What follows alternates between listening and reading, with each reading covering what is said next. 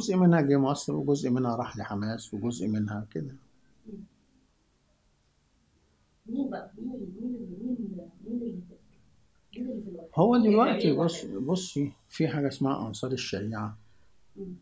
في حاجة اسمها آه، الكتيبة الليبية في حاجة اسمها كتيبة 17 فبراير. وفي بقى اشترك معاهم مجموعات حسم بتاعت الإخوان.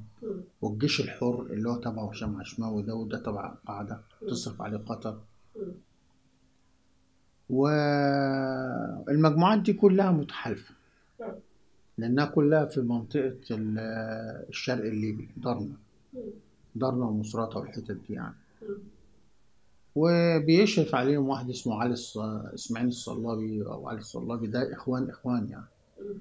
وجماعة فجر ليبيا ودول إخوان إخوان يعني. مبيعين التنظيم الدولي يعني وعبد الرازق الشحات.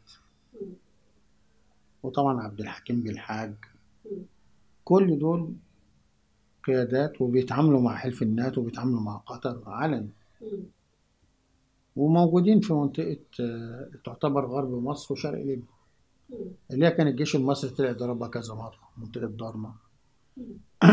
ومتواجدين بكثافة ما زالوا موجودين متركزين على الحدود الغربية آه موجودين. آه ممكن المعسكرات اللي بتتدرب بتتنقل. بس موجودين. موجودين بكثرة مم. وبدأوا يهربوا من سوريا والعراق عبر تركيا إلى ليبيا عدد المقاتلين المصريين في داعش ما أعرفش هم كانوا بيقدروهم ب 4000 مم. نسبة الإخوان منهم لا الإخوان أي وقت يحشدوا ناس هو كانوا عددهم 2000 لحد ما مرسي اتحبس 2000 من من تسوق داعش آه من من الإخوان ومن حزمون. من إجمالي ال 4000 مم. بس كانوا منضمين لجيش النصرة أكتر. حضرتك متوقع أولا حتة يعني مصطلح العائدون من داعش و من سوريا والعراق ده ده مصطلح إحنا فعلا على أعتاب هذه المرحلة أو بالفعل إحنا آه بينتقلوا فعلا. مين بقى؟ مين التنظيمات الموجوده على على الأرض في؟ هو بص أنصار بيت المقدس؟ دول أنصار بيت المقدس دول توتال من التكفيريين. مجموعات كلها اندمجت مع بعض. مم. بيدعموا جماعة حسم ولواء الثورة. وطلائع حسن. ده الجديد بقى. لا سيبك من هي هي حسم هم كل بيشروا عليهم أيمن عبد العزيز جوز بنت خالد. وقعد في تركيا. ومعاهم آه، آه، تليفون اتصالات قمر صناعي اسمه مشخير إسرائيلي. اسمه؟ مشخير ماركة إسرائيلية اسمها مشخير دي متصلة بالقمر الصناعي الإسرائيلي. معايا عشان ما تتبعوش انت هنا في مصر. وبياخدوا صور الأقمار الصناعية من القمر الإسرائيلي ومن القمر التركي مم. وبيستعينوا بالحاجات دي كلها تمويل بيجيب؟ لا التمويل معروف قطر يعني قطر وتنظيم الدنيا ما وتنظيم اختلفتش بعد الحساب حجم التمويل ده قد إيه سنويا؟ مليارات مليارات تقريبا كده قد إيه سنويا؟ ولا يعني لما كانوا فاتحين في سوريا كان بيوصل لمليار دولار خليني ارجع لقضيه العائدين من سوريا، حضرتك شايف من سوريا والعراق حضرتك شايف انهم بيشكلوا خطر؟ طبعا خطر على كل إيه الدول إيه- اللي إيه إيه نوع الخطر ده أو شكله؟ بصي هم هيتحولوا إلى خلايا نائمة لو وصلوا. هيتح- هيتحولوا إلى خلايا نائمة لو وصلوا دول مستقرة زي مصر وح... آه طبعا مش هيوصلوا إيه اللي يمنعهم. وهيتحولوا إلى هيوصلوا ولا وصلوا؟ أكيد جزء منهم وصل مجموعات بسيطة. مم. قد تقريبا؟ مش عارف طبعا بس هيوصلوا آه هيوصلوا. يعرفوا يدخلوا يعرفوا يدخلوا. في ناس هتعرف تدخل مين خلال فترة قد إيه متخيل إنهم هينجحوا؟ لا أصل دي هتبقى خلايا نائمة مم. ما بتتحركش إلا إذا جالها أمر من بره. هو ما يقدرش يتحرك هو قاعد خايف. اخطر من من العناصر الموجودة اللي هي ال- ال- على الأرض من من زمان يعني هل- هو خطورته إن هو في وسطك. ممكن يفجر لك في وسط البلد. يعمل لك تفجيرات في مولات يعمل لك هي دي الخطورة. كنيسه زي كنيسه البطرسية. ما كل دي خلايا نائمه من العناصر اللي جاية من داعش سوريا والعراق أكثر احتراف في القتال عن اللي موجودين لا أكثر. هو ده أكثر احتراف في العمليات القتاليه أكثر احتراف ومتدربين وكويسين. بس سهل هزيمتهم ما تنسيش إن الجيش السوري بيحاربهم بقاله ست سنين مم. والآخر انتصر عليهم سبع سنين مده والجيش السوري ضعيف. ومتحاصر من كل حتة. أي نعم دخلت عناصر قوته بس التانيين كان بيدعموا أمريكا علنا وتركيا علنا. وأنا في لقاء في لبنان سنة 2015 كنت في قناة الميادين والتقيت بناس من حزب الله عشان أروح آه، أعمل حوار عندهم في قناة اسمها المنار. فبقول لهم أنتوا ليه مقعدكم في سوريا؟ أنتوا المفروض تخرجوا من سوريا عشان ما تخسروش شعبيتكم. قالوا إحنا مستعدين نخرج كلنا في إطار اتفاقية كاملة. اشمعنى إحنا بس اللي نخرج؟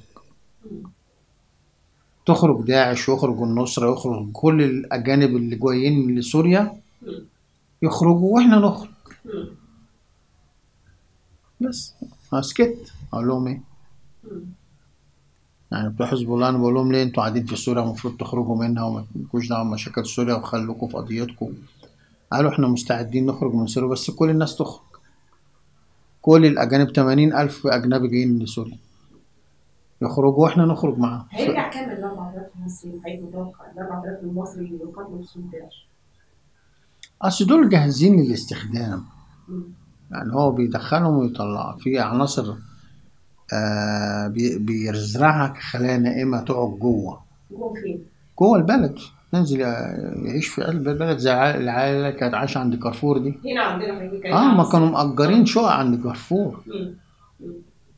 كانوا من سوريا وده لا كانوا من مصر آه، حسن آه. كانوا- يعني بتكلم على العائلين من سوريا ما هم كانوا قاعدين من سوريا العيال دي آه يعني كانوا عائدين آه ونزلوا أجروا هناك سكن مم. وبيبدأوا بقى إيه إما يجندوا ناس من منطقة مم. خلايا عناصر جديدة مم. إما يبدأوا هم يتحركوا يعملوا عمليات. كده مم. فإما بيدخلهم يزرعهم خلايا نائمة إما بيحتفظ بيهم جوه بره في معسكرات بيدخلهم يعملوا عمليات ويطلعوا. بالنسبة للأغلب بيست- بيبقى كده ولا كده؟ لا الأغلب بيبقوا في المعسكرات. عشان يحافظ عليهم يعني؟ آه.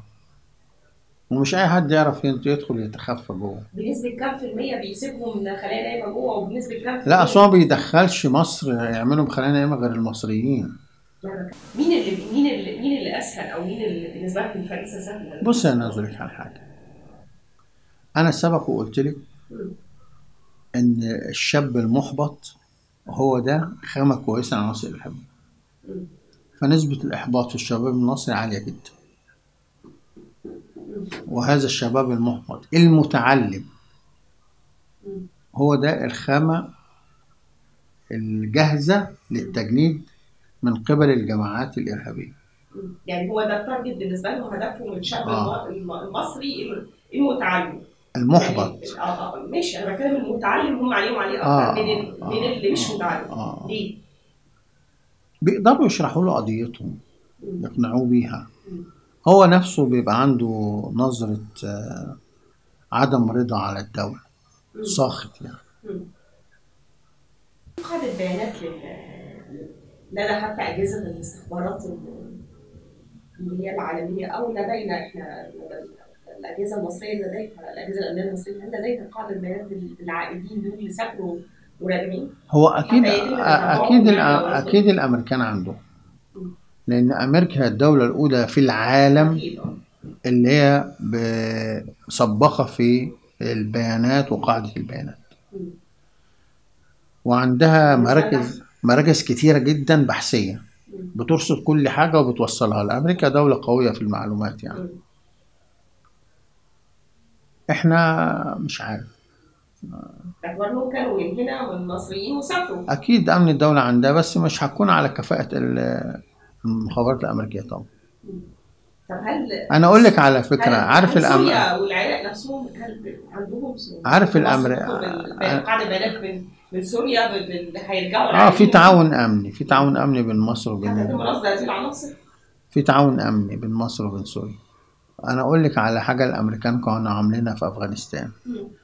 كانوا فاتحين في مطار بشاور مكتب لبان أمريكا اليابان شركة طيران أمريكية اسمها بان أمريكا بان أو- مفيش طيارات بتروح هناك. طب المكتب ده مفتوح ليه؟ ده مكتب مخابرات شغلته يرصد كل المانيفستو بتاع الطيارات اللي نازلة طيار بشاور. يطلع العرب. وقاعد بس ياخد البيانات بتاعت المانيفستو فطبعا هم كانوا عاملين في, في إسطنبول كده وعاملين على الحدود مع سوريا كده. بيجوا عند نقطة الحدود يقوموا حاطين إيه؟ سوريا آه عندها عندها قاعدة بيانات الناس دي؟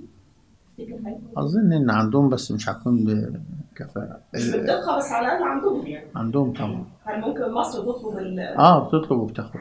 عاوز بتاخد. يعني هل هل بالنسبة لينا عندنا معلومات قاعدة بيانات عن الناس دي؟ اللي هيرجعوا لنا؟ اللي عند سوريا عندك. سوريا ومصر بيتعاونوا جامد في الموضوع ده. الأمريكان بيعملوا بيجوا على نقط العبور. يقوم عامل مستشفى ميداني. أسعاف. مستشفى صغيرة كده. كل داخل طعم. كل داخل إيه؟ طبعا بتطعم بتديله الإيه؟ اسمك الجواز. بس يطعمك ويطعم فبياخد كل اسمها اللي دخل لا تزيد أساتذة. بترصد العناصر اللي, اللي بتدخل؟ بتتعرف إن ده مطلوب ولا مش مطلوب سافر ولا مسافرش سافر باسم إيه؟ اسمه الحقيقي ولا اسمه المستعار؟ كل ده بتكتبيه عن الشخص. بس هو اللي إحنا بنقوله إن إن عشان الدولة تنتصر على الحركات الإرهابية دي لازم يبقى ليها ظهير شعبي والتفاف شعبي؟ ال- لا، العائدون من العائدون من داعش العائدون من داعش سوريا وال- والعراق أم العائدون من وأوجه لا. طبعا العائدون من سوريا والعراق لأن أفغانستان دي كانت زمان وكانت حاجات بدائية و... والناس الناس كلها كبرت في السن خلاص. يعني أنا واحد من الناس كنت شاب صغير دلوقتي أنا عندي 62 سنة. لا أنا بتكلم وقتها. بتكلم لا لا لا ما كانش فيه. على ال- على ال- على لا ما كانش آه، فيه دواعي للصدام مع الدولة. ما كانش فيه دواعي؟ ما كانش فيه الداعي للصدام مع الدولة. بمعنى؟ يعني إحنا لما رجعنا من أفغانستان ما عندناش وازع يخلينا نصطدم مع الدولة. الدولة اخترعت الصدام معانا. إزاي لأن كان مطلوب منها تصفية العناصر الع- العائدة من أفغانستان لأن بعد ما انتهت الحرب مع روسيا أمريكا دعمت بنازير بوتو. وكان برنامج بنظير بوتو يتضمن ثلاث حاجات. آه، اعتقال المجاهدين العرب. وترحيلهم إلى بلادهم. طبعا كان في ناس بترحل العراق بتتقتل. اللي بيترحل لليبيا بيتقتل. اللي بيترحل لمصر زي كده بيدخل السجن ما يطلعش اللي, بت... اللي بيترحل للسعودية بيتسجن. ترحيل المجاهدين العرب التخلص منهم بقى خلاص أدوا مهمتهم فأمريكا عاوز تتخلص منهم. فتح المفاعل النووي الباكستاني للتفتيش توقيع على معاهدة عدم انتشار السلاح النووي. بصرف النظر عن توقيع الهند أو عدم توقيعه. عشان كده بنازير بوتو اتقتلت. معايا مم. فأمريكا دعمت بنازير وصلت للحكم. فما كانش فيه ما يدعو العائدون من أفغانستان إلى الصدام مع الدول الدول هي اللي اخترعت الصدام معاهم. وقالت أه؟ الآن بقى خلينا نتكلم على على في دواعي. في دواعي. وفي تحفيز وفي تشجيع وفي تبني للصدام مع الدولة يعني إحنا لما لو إحنا؟ إحنا إحنا لما نرجع من أفغانستان وحبينا نصطدم مع الدولة ما حدش هيساعدنا. دلوقتي في دول بتساعدك. قطر وتركيا وإسرائيل وأمريكا. طب داعش والنصر قعدوا في سوريا سبع سنين ولحد دلوقتي موجودين. ما ضربوش صاروخ غلط على إسرائيل. غلط. وبينهم وبين إسرائيل ما فيش حاجة. على فكرة الحدود السورية الإسرائيلية عندها جيش النصر مش الجيش السوري. الجيش السوري على بعد 12 كيلو من الحدود. أول نقطة للجيش السوري. هم العائدين من أفغانستان ما استهدفوش ما وصلش ما وصلش إنهم يستهدفوا رئيس مبارك مبارك استهدفوه لأن مبارك هو اللي استهدفهم الأول وقتل لهم علاء محي الدين وقتل لهم كذا واحد صفاهم تصفية جسدية. معايا؟ وكان بيعتقل الناس ما بيطلعهمش. أنا واخد 35 افراج قضائي ولم يفرج عني. ما الحاجة كانت بتسيطر عنهم وسبتهم ومشيت أنا انفصلت عنهم لأن فكرة التكفير انتشر أنا راجل شرعي. حضرتك قلت لي كفروا بعض. كفروا بعض. طيب. ما أنا سبتهم عشان كده ما التفكير بداية التفكير وبداية القتل يعني تستبيح دم مش. شرط لا. مش شرط مع التكفير والهجرة موجودين من زمان. ما التكفير ده ما يتحركش إلا إذا حد حركه. هم مش لاقيين ياكلوا. أنصار بيت المقدس دول أعرفهم واحد واحد. محمد فريق ده كان صاحبي شاد المنيعي ده كان صاحبي صديقي وعال من عالي يا صغير يعني ما كانوش لاقيين ياكلوا. لما الإخوان لا، دخلوا. آه لقوا يعني- بقى لقوا حد حركهم وبتاع. وبعدين الحكومة غلطت غلطه قاتلة. خدت العيال دي ما كانوش يعرفوا حاجة في حاجة. حبستهم مع النجون من النار تكفير. اللي هم ضربوا حسن أبو باشا قعدتهم مع بعض في معت... في عنبر واحد. العيال بقوا تكفير. كانوا أصلا ده نصهم كان بيبيع بانجو. وجاي ليه يا ابني؟ جاي أصل ابن خالي نام عندي. أصل ابن اخويا عدى عليا وخد مني 10 جنيه. معايا؟ يعني خم... 500 واحد جايين كده. في أحداث طبا ودهب سنة 2004 مم. معظم العيال اللي اتحبسوا دول اتحبسوا ليه؟ أصل ابن عمي كان مطلوب وعدى عليا خد مني 100 جنيه. أصل ابن عمي كان مطلوب وجه نام عندي يومين. أصل ابن عمي جاي مش أصل ابن عمي أصل ابن عمي. ولا يفهموا حاجة ولا كانوا بيصلوا. الحكومة خدتهم حطتهم في عنبر النجون من النار التكفير والهجرة. حلمي هاشم كان موجود اللي هو مفتي داعش دلوقتي. كان ده ضابط في الشرطة واتفصل. حلمي هاشم. معظم قيادات داعش مصريين آه. لا القيادات في الجماعات التكفيرية كلها والمجرمة كلها مصريين. يعني المصريين تميزوا بالقيادة.